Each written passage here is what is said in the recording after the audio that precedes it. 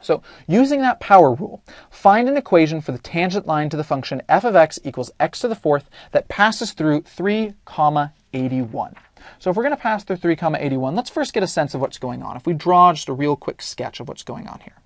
x to the fourth shoots up really, really quickly, right? We shoot up massively, very, very quickly with x to the fourth, right? By the time we've made it to a horizontal x location of 3, we are spitting out an output of 81, right? 3 to the fourth is 9 times 9, which is 81. So we're at this very, very high point very, very quickly.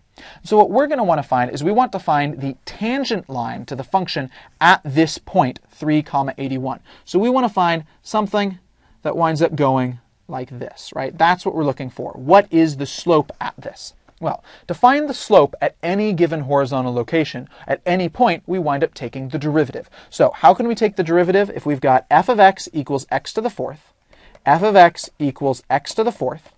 The power rule says that we can get the derivative, f prime of x, by taking the exponent and bringing it down in the front. So we've got 4 times x, and the exponent goes subtract by 1. So 4 minus 1 becomes 4 times x cubed. So if we want to find out what is the slope, so the slope at x equals 3, right? That's the horizontal location we're considered. We're considering slope at x equals 3, if we want to find out what the slope is for our tangent line. The slope at x equals 3 is going to be f prime of 3 f prime of 3 will be 4 times 3 cubed, right? We plug it into our f prime, our derivative function. f prime of 3 equals 4 times 3 cubed. 4 times 3 cubed, 3 cubed is 27. 4 times 27 equals 108. So we now know that the slope of our tangent line is 108. So if we're going to work out the tangent line, so our tangent line is going to wind up using this slope, m equals 108. So any line, any line at all can be described by slope-intercept form. It's a really good form to have memorized, y equals mx plus b. You always want to keep that one in your back pocket, always useful. y equals mx plus b. Well, we just figured out that the slope, if it's going to be the tangent, it must have a slope of 108 because f prime, the instantaneous slope at 3, f prime of 3, comes out to be 108. So we know the instantaneous slope at the point we're interested in, 3 comma 81, is 108. So that means we've got y equals 108x plus some b that we haven't figured out now. So how can we figure out what is b to finish creating our, our uh, equation for the tangent line, right? If you're going to figure out what a tan what any line is, you need to know what the slope is and what the y-intercept is, what m is and what b is.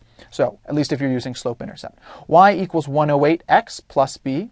Well, do we know any points on that line? Yeah, we're looking at the tangent line.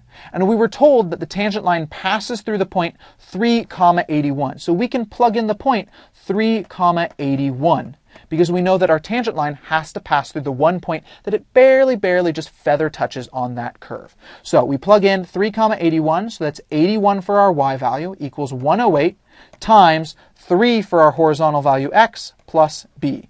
81 equals 108 times 3, that comes out to be 324, plus b, 81 minus 324 is negative 243 for our b. So now we know negative 243 equals b. We know what our slope is, so that means we can describe the tangent line in general as y equals 108 times x minus 243. y equals mx plus b with our m and b filled in. And now we have the tangent line that passes through the point 3 comma 81 and is tangent to the curve created by x to the fourth. Pretty cool.